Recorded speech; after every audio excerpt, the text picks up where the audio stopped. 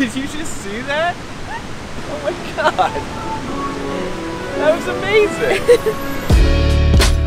If you haven't heard of Honesdale yet, you will soon. This small Pennsylvania town has been making quite a name for itself. Recently seen on HGTV for its up and coming downtown, it also hasn't forgotten its impressive historic roots as home to America's first commercial steam locomotive tracks. With plenty of activities, both new and old, we're here to find out. Is it worth the visit?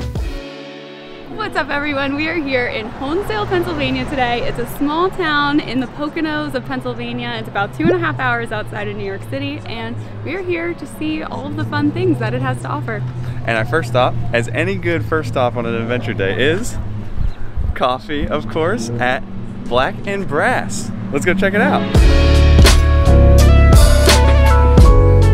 Founded as a small brick and mortar in the Poconos in 2016, Black and Brass has now grown to four locations and offers 25 different roasts. According to Black and Brass's website, they strive to foster an environment for all members of the community to feel welcome and expressive, and serve as a crossroads between coffee, art, culture, and creativity. If a bug flies past me and I flip backwards, that'll Then be I'll make so sure to sad catch it for on- the YouTube video. So Black and Brass is located right in the heart of downtown Honesdale, right on its main street.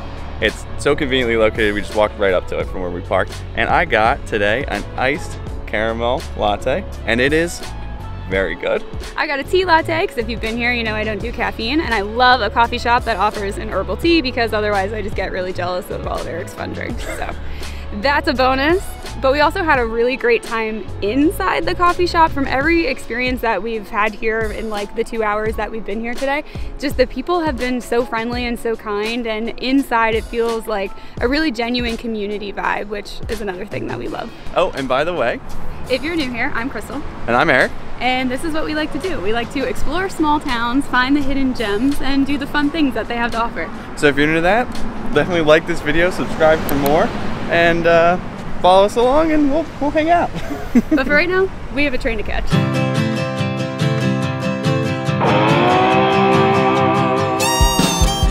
Honesdale is the proud home of the first commercial locomotive in North America, the Stourbridge Lion. In the 1800s, Honesdale was originally known as Dyeberry Forks and was a key stop along the D&H Canal. And though the coal trains have stopped rolling long ago, the history is still very much alive in Honesdale. If you can even believe it, which I'm sure you can, we found ourselves at yet another Pennsylvania train town.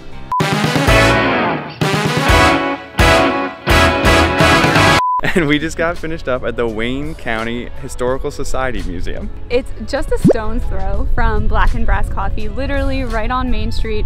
It actually wasn't a planned stop for us. We just decided to go in because it was so inviting and we really had a great time. It's only $5 for adults, free for kids, and it's definitely worth the price. Not only do you get to see a full-scale replica of the Stourbridge Lion, the famous steam engine from the local area, it goes over the full complement of the industrial history of the region, covering glass making in the area, textiles. It was so amazing how much I learned through that pretty quick uh, and inexpensive tour. Sorry, was there Sorry, a spider?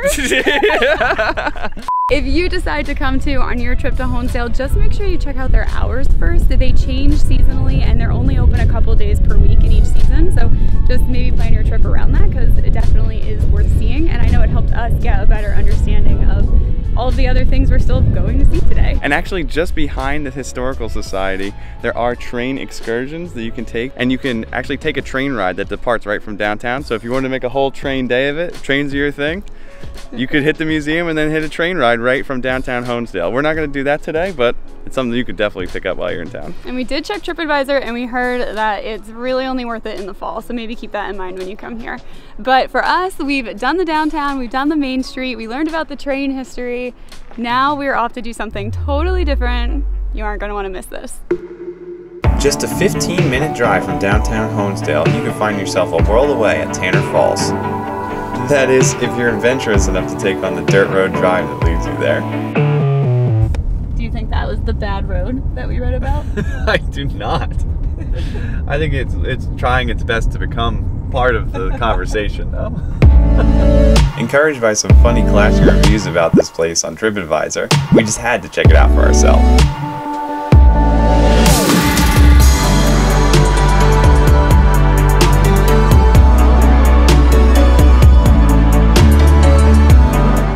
Made our way to Tanner Falls and it is gorgeous. It's really nice. It's way better than I expected. I couldn't believe like that there was such a powerful waterfall just so close to an accessible area, honestly. It is. So this is only 15 minutes from the downtown that we were just in, which is a really easy drive to get to but the last road on the way here is just not for the faint of heart. If you have any concerns about your vehicle's performance or don't like really sketchy roads, I would yeah. not recommend it. That being said, there is a parking lot just by the road that you can park at and walk the full half mile in. So if you're better hiker than driver, that's options available for you too. Once you get here, it is a bit of a steep hike down to the view. So you can view the waterfall from the top, which is pretty, but we do recommend if you're able to, to come down a couple steps. It's not terrible, but you do have to scramble a little bit. So you have like near hip problems, that might not be the best for that. One thing that I've been getting into and I would like to mention is birding. I give this place four cacaws. I didn't see a lot of birds, but we did see like a snow goose, like a rare bird fly right on through here. So if I had better timing, this would be an amazing place to bird see. Bird see. Bird see. Don't knock it till you try it. That's good.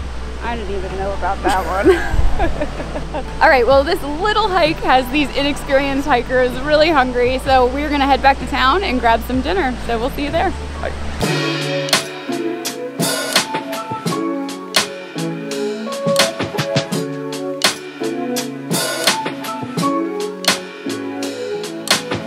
All right, we are back at home. We are showered. We are cozy. We had an awesome day out in Honesdale, and we are rounding our night out with some Vietnamese food from Ba and Me, which is also right on the main street in Honesdale, so super convenient. And we haven't tried it yet, but it smells amazing. Oh my gosh. So we picked Ba and Me because they had some really incredible looking vegan options. We love to patronize anything with vegan options wherever we go and take check it out. And Honesdale overall has ended up being a really awesome place. I will admit I am from not too far from here, so I'm known of Honesdale, but I've never gotten to explore it like we did today to actually get out and hit the streets and walk around. And just at every turn, the community was amazing. I've been impressed by the food options, like a small town like this having vegan options and just like such a small community feel it's unlike a lot of other places. We have some super interesting travels coming up. So definitely subscribe if you're into international travel. We're doing it. We're doing it. We're going. I can't believe you let the cat out of the bag. More to come on that. more to come on that. We think you're going to like it. And if you like this, subscribe because there are going to be more small towns coming too. We have a road trip out to the Midwest this summer where we'll be doing a lot more in a series like this.